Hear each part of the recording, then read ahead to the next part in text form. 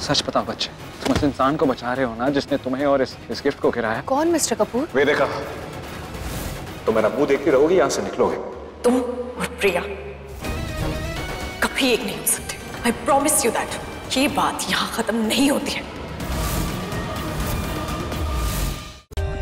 For more updates, subscribe to our channel, click the show links and enjoy watching the videos.